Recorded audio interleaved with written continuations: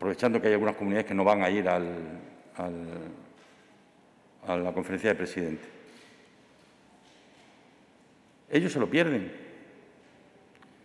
porque a España la necesitan, al resto de España la necesitan.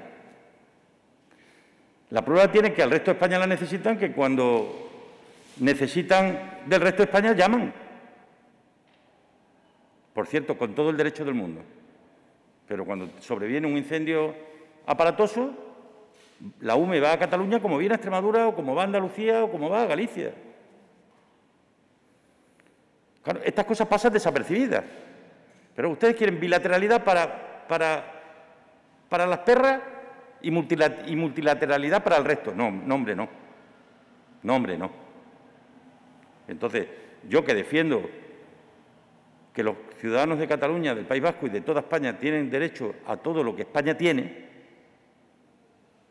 pues entiendo que es una eh, falta de, de acierto el ausentarse de una conferencia de presidentes, porque es la única institución que tenemos en España, la única en la que estamos todos.